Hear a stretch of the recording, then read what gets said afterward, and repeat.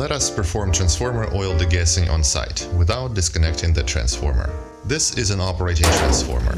We now need the degasser and the transformer safety system, TSS. The TSS transformer safety system is a standalone assembly controlling the level of oil in the transformer by a pressure sensor, which is installed in the transformer using transformer ports.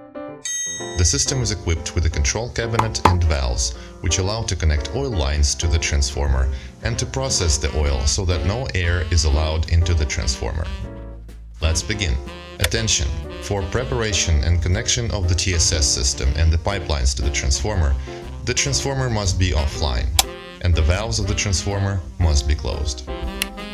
The upper and lower cross pieces of the TSS system are connected to the transformer. The TSS pressure sensor is connected to an available port of the transformer. The required oil pipelines are connected to the transformer. The TSS system is powered up.